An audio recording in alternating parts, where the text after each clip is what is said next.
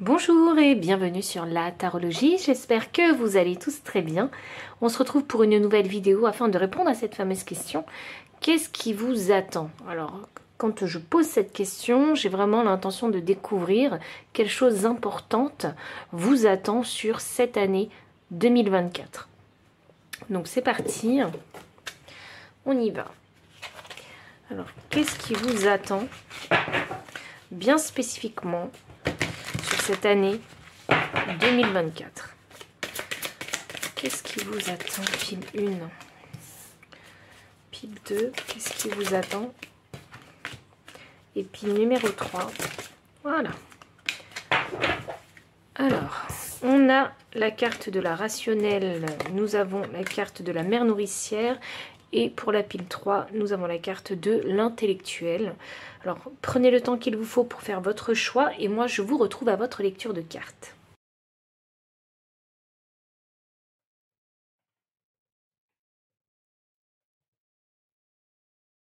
Pile numéro 1, bienvenue pour votre lecture de cartes. Vous avez choisi ici la carte de la rationnelle avec le chiffre numéro 2. Et on va essayer de voir ce qui vous attend. Qu'est-ce qui vous attend sur cette année 2024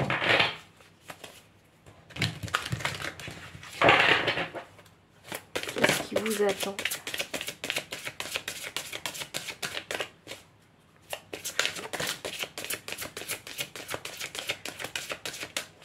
On a la carte de la trahison qui est sortie. Pardon.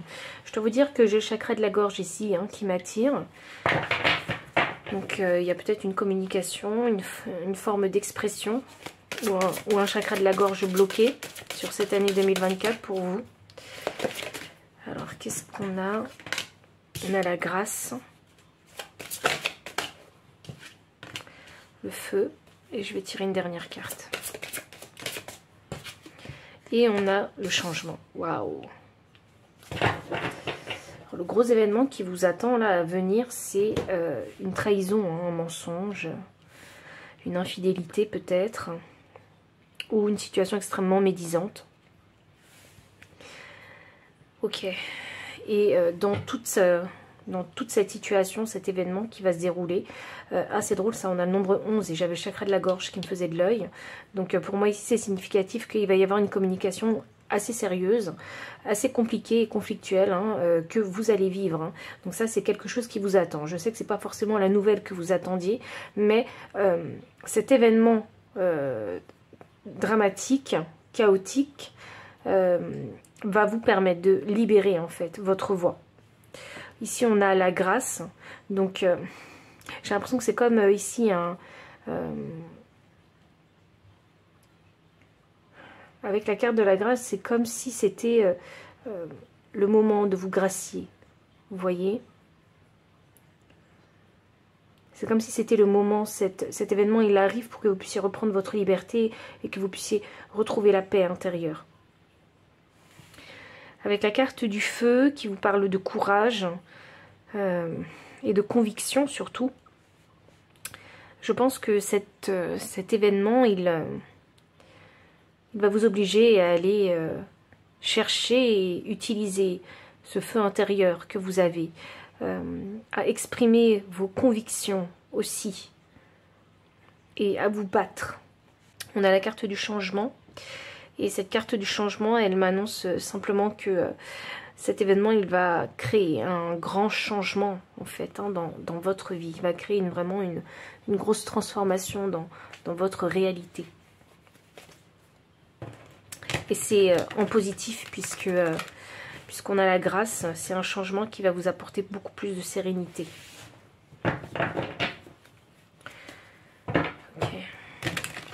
Il se pourrait que dans votre euh, situation, on ait pu abuser de votre confiance.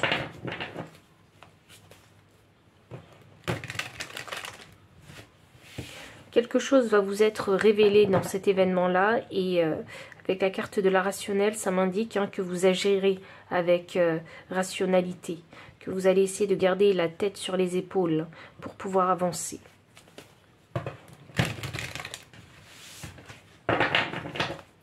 Voyons voir. Ce grand événement?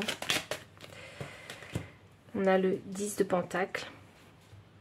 Alors ça se passe ici, soit dans votre carrière professionnelle, puisqu'on a des pentacles, euh, et parce que vos finances sont touchées dans tous les cas, ou euh, soit au sein de votre famille. Cette trahison se passe dans ces deux domaines-là.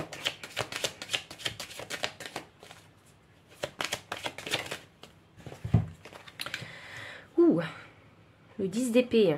vous arrivez vraiment à la fin de cette situation, à la fin de ce cycle. Hein. On a deux 10 qui se suivent. Hein.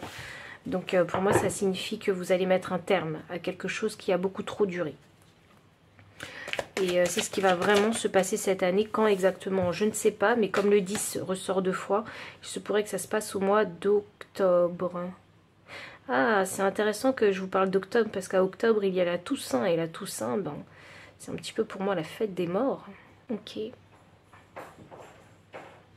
C'est la mort de quelque chose. Ok. J'ai la carte de la lune. Donc ici, euh, cette situation hein, va vous pousser hein, dans vos retranchements, va vous pousser à vous élever aussi spirituellement, puisqu'il y aura l'envie de comprendre hein, cette situation-là et de s'en sortir surtout euh, de façon positive. Et euh, cette lune indique que vous allez passer dans une phase d'introspection pour pouvoir trouver ce feu intérieur, trouver ce courage de vous battre. Alors, avec la carte du changement, qu'est-ce qu'on va avoir d'autre? Le roi des coupes. Hmm, il y a une relation qui se termine. Une relation professionnelle, amicale ou familiale. Et il y a une relation. Vous allez mettre un terme à une relation. Vous allez... Alors c'est une situation dans laquelle vous allez ressentir beaucoup de colère. Je vais clarifier le roi des coupes. Ok cette relation qui se termine, c'est ce qu'il y a de mieux hein, pour vous. C'est ça qu'il faut que je vous dise. C'est ce qu'il y a vraiment de mieux pour vous. Parce qu'avec ce deux de bâton, ça indique qu'il n'y a plus rien à en tirer. Il n'y a pas d'avenir avec cette, euh, cette relation. Vous avez vécu tout ce que vous avez vécu... Euh, tout ce que vous aviez besoin de vivre en fait hein, dans cette relation et il était temps en fait que ça se termine je vais euh, demander un dernier message pour vous. C'est un message que je voulais vraiment très rapide. Donc euh, pour une fois, les guides ont, respecté ce que je leur ai demandé. Et euh, je voulais vraiment très clair et précis. Donc voilà. Donc si ça ne résonne pas, forcez pas le message. Hein. C'est que ce message, il n'est pas pour vous. On a la carte de la conscience. Oui, il va y avoir un éveil de conscience concernant cette fameuse relation.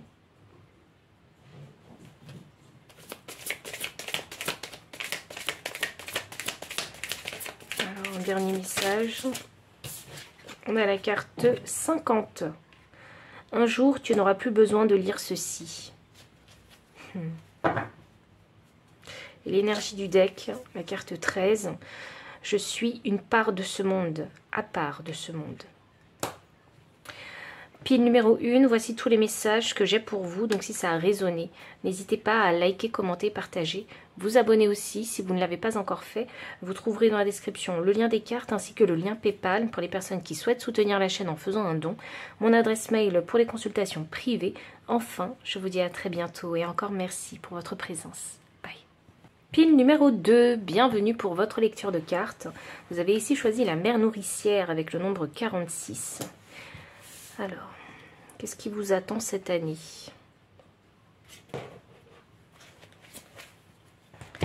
Qu'est-ce qui vous attend cette année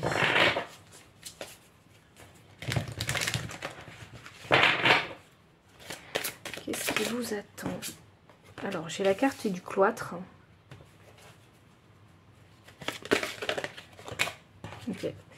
La carte de l'entreprise. La carte de la table. C'est intéressant ça, parce qu'on a les mêmes énergies entre la table et la mère nourricière. J'ai la carte de la pensée et de l'amitié. Alors, pile numéro 2, qu'est-ce qui vous attend cette année? Alors, je pense que vous allez euh, vous concentrer sur euh, votre, euh, votre évolution, votre développement personnel concernant vous, dans votre carrière, mais également dans votre logement dans votre foyer.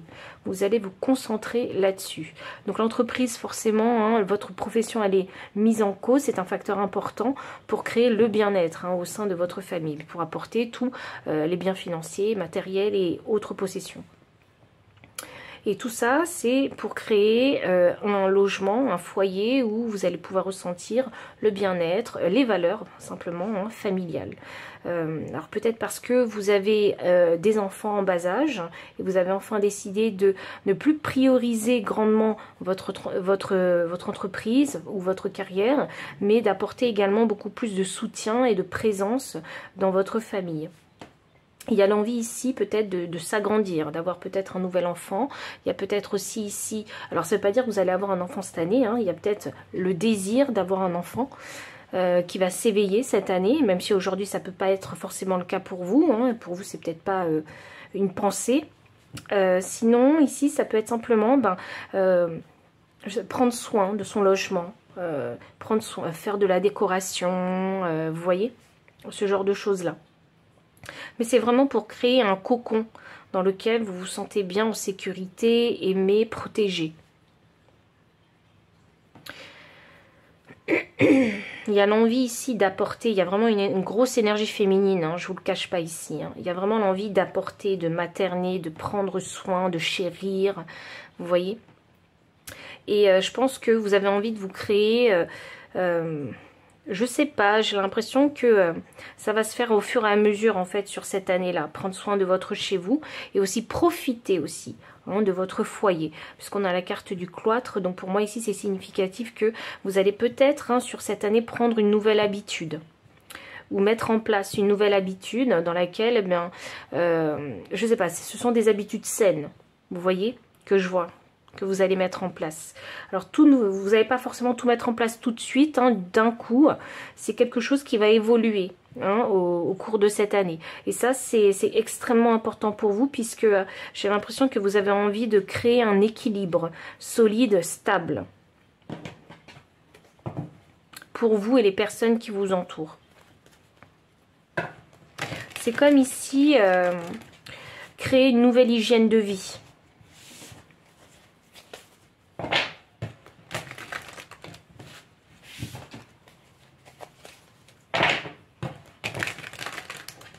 C'est drôle parce qu'avec vous, je peux, j'ai pas forcément besoin de lire les cartes une à une. J'ai vraiment l'impression que c'est vraiment une énergie globale.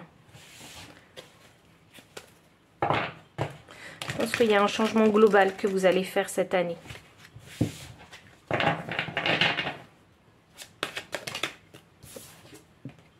La roue de fortune. La mort inversée. Le chariot inversé. Ok.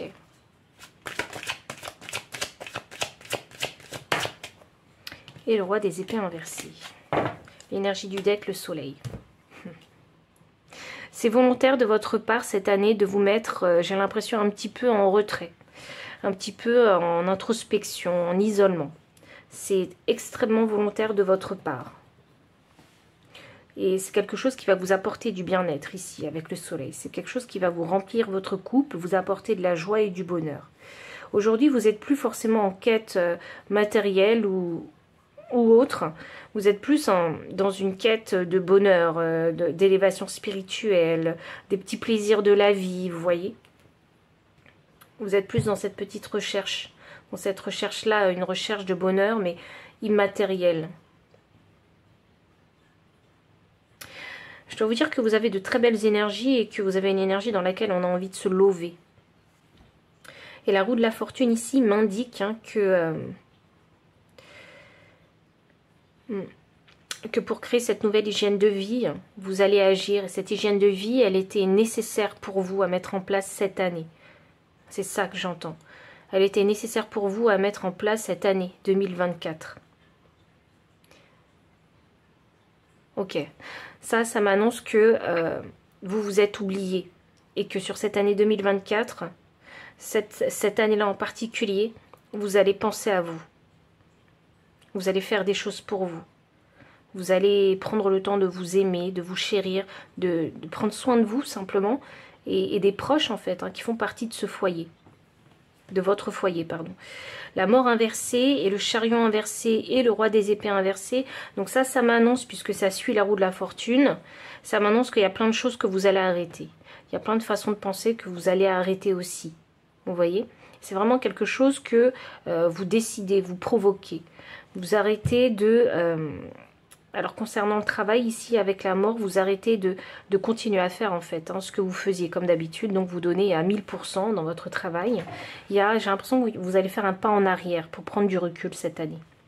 J'ai euh, le chariot ici hein, qui est une carte d'action mais elle est inversée.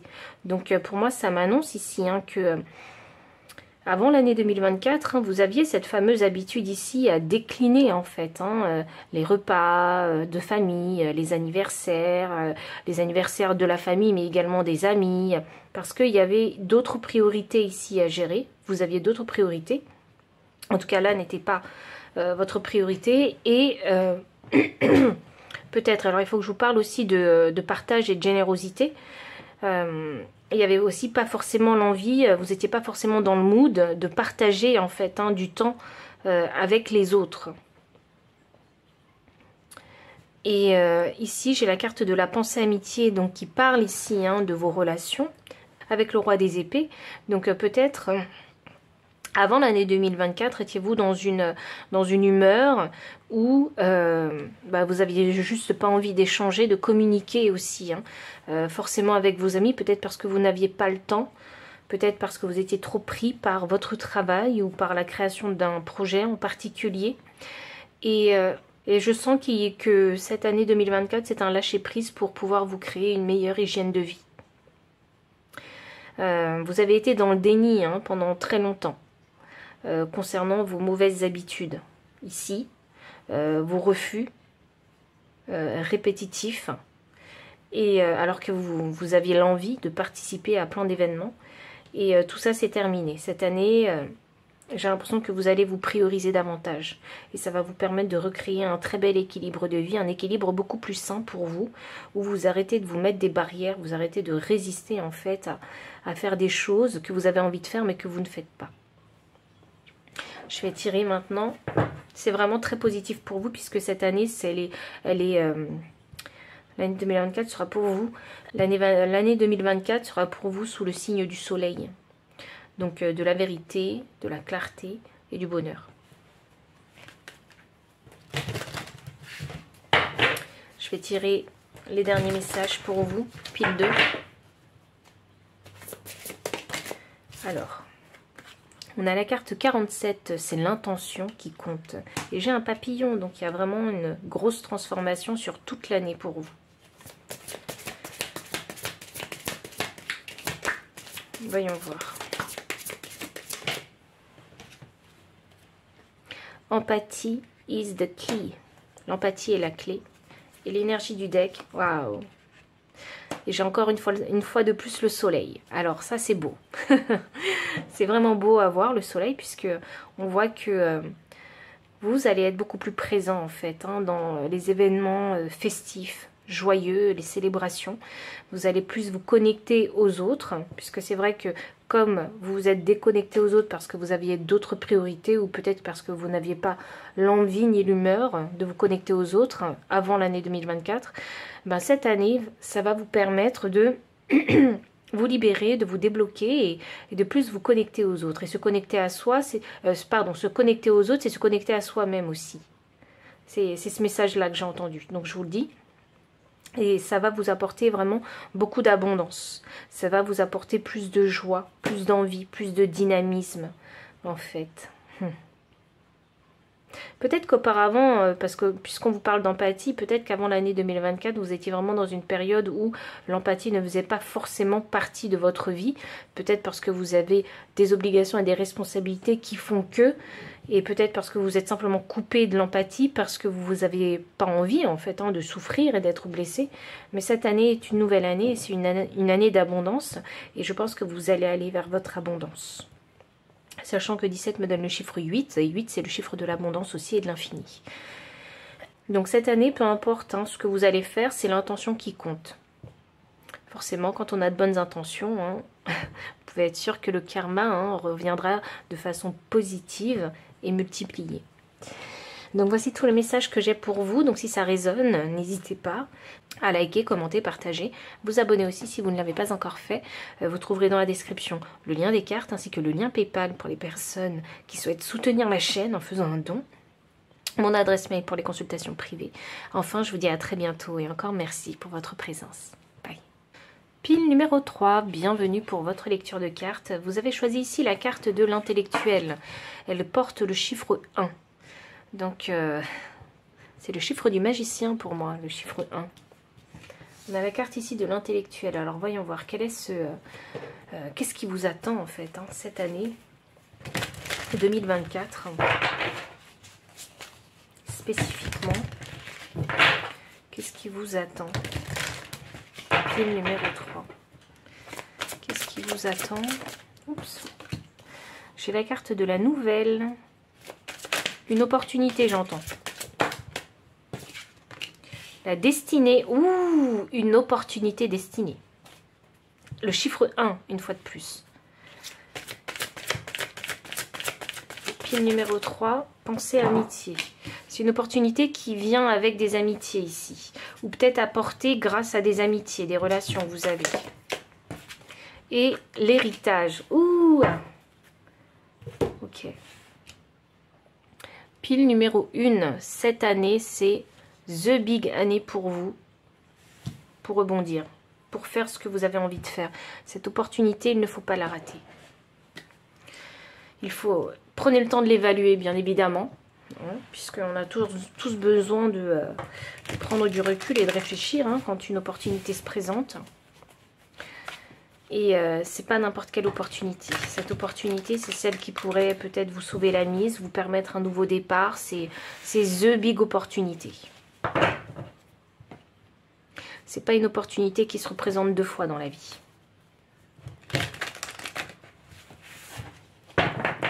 Ok. Pile numéro 3. Qu'est-ce qui vous attend cette année?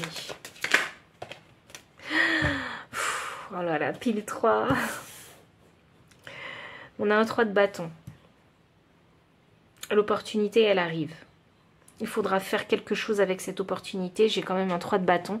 Et le 3 de bâton signifie attendre la bonne vague pour aller surfer. Donc, il y a de l'attente. Mais, comme c'est des bâtons, il y a aussi une action de votre part, une décision à prendre de votre part. J'ai la carte de l'étoile, c'est un vœu exaucé, ici. C'est une carte d'espoir. Cette opportunité, elle pourrait vous mener là où vous avez envie d'aller. C'est drôle parce que ça fait deux fois que j'ai l'étoile. Alors même si cette opportunité, c'est pas exactement ce que vous voulez, c'est une opportunité qui peut vous mener là où vous avez envie d'aller. Donc, ne snobez pas, ne jugez pas trop vite cette opportunité.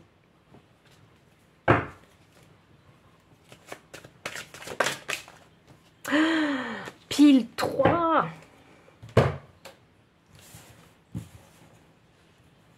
On la carte du jugement.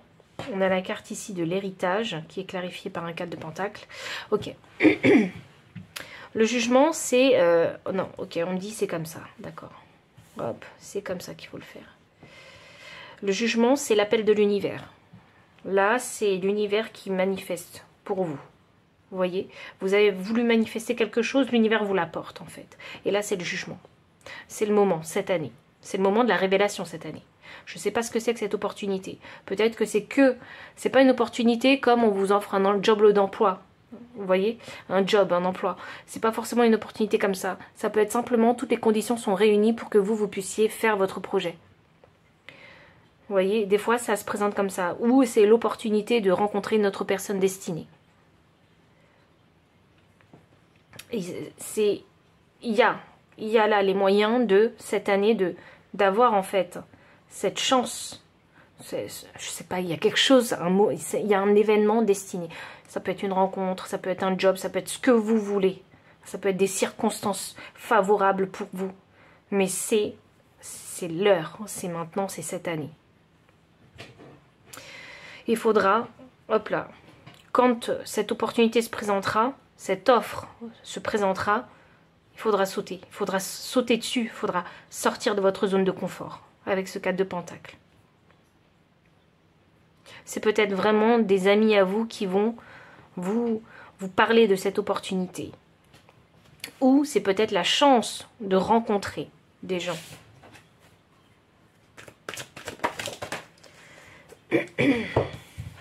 J'ai un 8 de bâton inversé, clarifié par... Euh, et un as d'épée.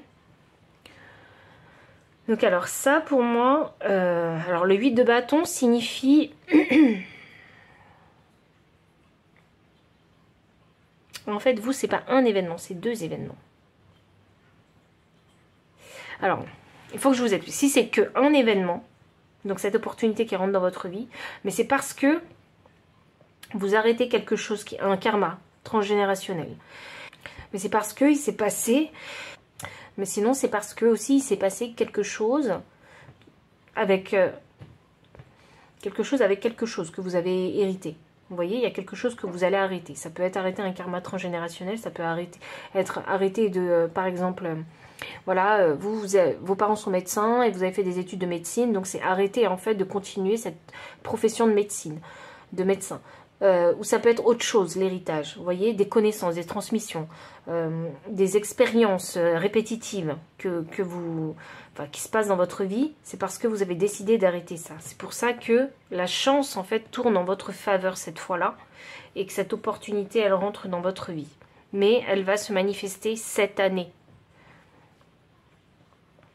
Je pense qu'au début, vous vous en rendez pas compte, que c'est parce que vous arrêtez de faire quelque chose, euh, vous arrêtez une mauvaise habitude, quelque chose en fait. Hein. C'est parce que vous n'allez pas vous en rendre compte que c'est parce que vous arrêtez ça que euh, autre chose rentre dans votre vie. Il y a peut-être une amitié que vous allez arrêter aussi. Il est probable aussi.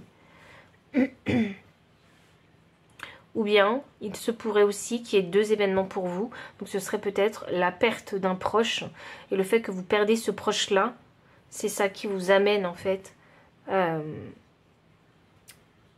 cette opportunité. J'espère que vous aurez compris que dans la vie, c'est la loi du donner et recevoir.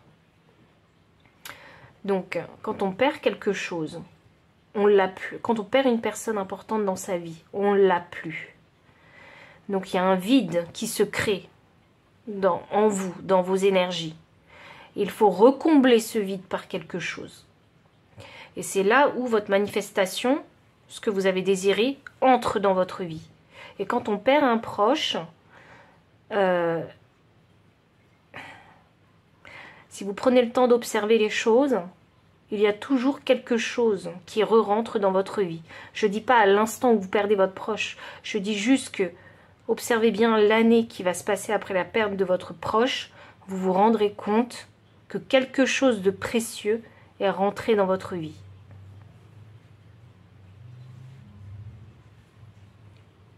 Et je parle, je vous donne ce message par expérience personnelle.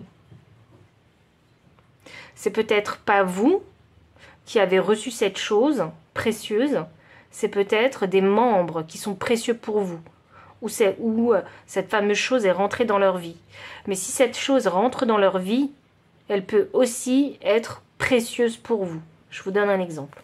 Si par exemple vous avez perdu votre, votre grand-mère, par exemple, hein, et que euh, quand votre grand-mère était euh, vivante, euh, voilà, vous avez des frères et sœurs, et vos frères et sœurs n'avaient pas pour projet d'avoir un enfant, mais suite au décès de votre grand-mère, et eh bien là, vous vous rendez compte que vos frères et sœurs, pas forcément vous, mais vos frères et sœurs, veulent avoir des enfants ou ont eu des enfants surprises, voilà, non voulus, parce que bah, c'est arrivé comme ça. Vous voyez? Et c'est quelque chose de précieux. Vous avez perdu votre grand-mère qui était quelqu'un de précieux pour vous, et dans la vie de vos proches, il y a des enfants qui rentrent dans leur vie et qui feront également partie de votre vie. Et ces enfants-là sont précieux également pour vous. Vous voyez, ça vous touche, ça vous impacte indirectement. Et si ce n'est pas une question d'enfant, de personne, c'est une question d'opportunité dans votre vie. Si vous avez perdu quelque chose qui vous était précieux, par exemple une bague, euh, vous vous rendrez compte que dans l'année, vous allez recevoir quelque chose d'aussi précieux que cette bague qui, que vous avez perdue.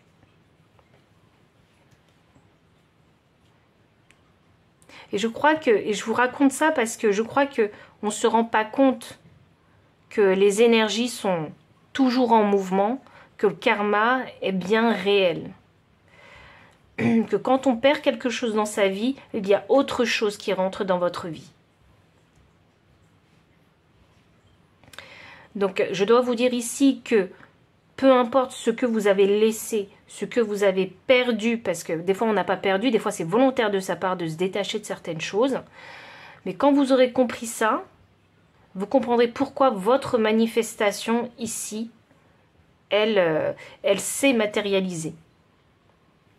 Donc c'est une opportunité qu'il ne faut pas manquer, c'est euh, parce qu'elle ne se représente pas deux fois dans la vie, à moins que vous laissiez ou perdiez quelque chose d'une valeur équivalente. Je vais enfin tirer un dernier message pour vous, pile numéro 3.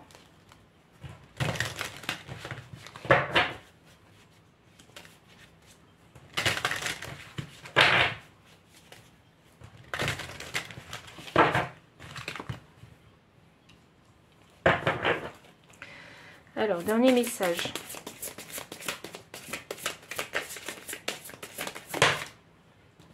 Qu'est-ce qui vous attend cette année? Life begins at the end of your comfort zone. Vous allez sortir de votre zone de confort. Là, on vous dit que la vie commence à la fin de votre zone de confort. On a l'échec n'existe pas. N'ayez pas peur de saisir cette opportunité destinée. L'énergie du deck vous dit j'avais tout prévu sauf la vie. Et il y en a qui veulent peut-être des enfants. Peut-être que ça vous avait même pas traversé l'esprit de vouloir un enfant. Parce que vous avez peut-être déjà deux, trois enfants. Qui sait Et vous vous êtes dit, bon ben je m'arrête là. Mais cette année, il y a, vous savez pas pourquoi. Il y a peut-être l'envie, le désir d'avoir un enfant. Ou bien, si c'est pas un enfant, c'est un projet un projet que vous allez considérer comme votre enfant puisque vous allez y mettre toute votre sueur, votre sang, votre énergie. Vous voyez? Et on a le trèfle. Le trèfle qui est un moment chanceux. C'est une opportunité. Ce temps, je ne sais pas ce qui se passe pour vous en 2024, mais cette année, elle est précieuse pour vous, pour pouvoir ici saisir une opportunité qui va vous permettre de débloquer votre destinée et de vous ouvrir au monde. J'ai la planète. Ça va vous ouvrir à un nouveau monde. Donc sortez de votre zone de confort, n'ayez pas peur de l'échec. Dans l'échec, il y a des leçons qu'il faut apprendre. Et ces leçons-là, elles vous permettent de grandir et d'aller encore plus loin. Donc pile 3, voici tous les messages. Donc si ça a résonné, n'hésitez pas à liker, commenter, partager. Vous abonner aussi si vous ne l'avez pas encore fait. Vous trouverez dans la description le lien des cartes ainsi que le lien Paypal pour les personnes qui souhaitent soutenir la chaîne en faisant un don. Mon adresse mail pour les consultations privées. Enfin, je vous dis à très bientôt et encore merci pour votre présence.